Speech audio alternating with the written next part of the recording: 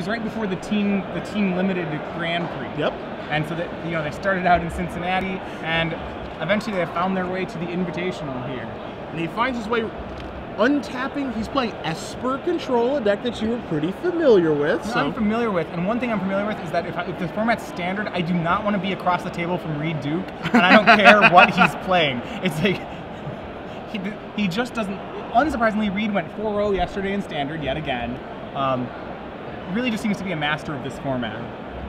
Thomas went 3-1 in standard. His 4-0 was with his signature Death and Taxes deck Yeah. in Legacy. the deck that he won a Grand Prix with. Did you see Duke upping that Liliana the Veil? It's up to six. He's got a Grafdigger's Cage in play. He plays an Overgrown Tomb untapped. He's tapping a whole lot of mana. There's a Rakdos return going upstairs. Snapcaster Mage here for Voltson. He cannot flash back. He's just got to discard some cards and try to keep that Liliana the Veil under control.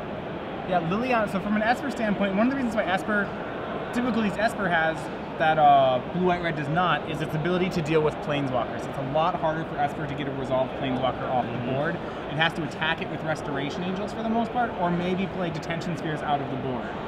Duke with an Underworld Connections activation, draws a card, plays a land, plays a Thragtusk, ups that Liliana, and you see Voltson is staring down a very difficult board state here.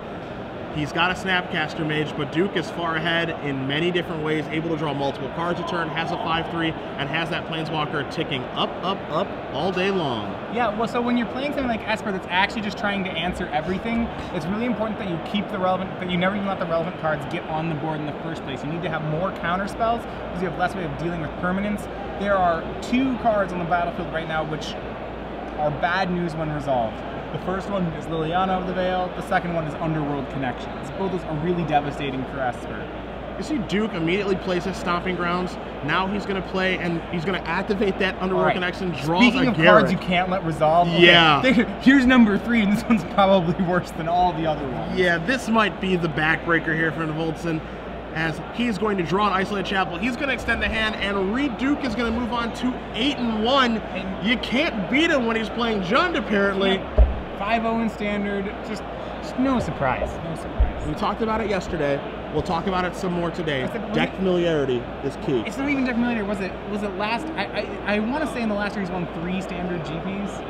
Um, I And mean, he won Miami he won Miami and Charleston, yes, that's true. and I believe there was one in Texas. Yeah, I mean, he's top eight at three because he top eight at back to back. He top eight Right, at Charleston. he didn't win them Yeah, both, He didn't right. win them all. Yeah, he top, Top eight at. Charleston. He top eight at San Antonio, and then he won Miami.